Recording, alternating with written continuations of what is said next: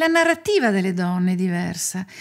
E, e questa credo che, che Quindi tu non hai mai pensato non faccio una figlia perché potrei avere poi dei, dei, problemi, cioè nel senso poi sarò fuori, come farò a gestirla, quindi l'hai vissuta come giusto che sia in maniera naturale. Sono una donna, posso procreare, voglio un figlio con la persona che amo, adesso non entro esatto, nei particolari. Esatto. Voglio, un... voglio un figlio, voglio una famiglia e voglio un lavoro. E io credo che sia una cosa fondamentale per noi non metterci di fronte alla scelta. Io quando sono entrata in questo lavoro ero l'unica donna, c'erano pochissime donne e nessuno aveva, nessuno aveva i figli. Perché senza figli? No, la donna è con i figli perché siamo capaci di una narrativa diversa, raccontiamo cose diverse e quindi... Ma secondo te le altre rapporto... donne avevano paura di avere anche un figlio? Sì, allora c'è sicuramente la paura, il senso di colpa, il giudizio, il giudizio tutti quanti mi chiedevano il giudizio. Ma tu come fai con una figlia? A nessun collega maschio, nessuno avrebbe mai chiesto ma come fai a fare questo lavoro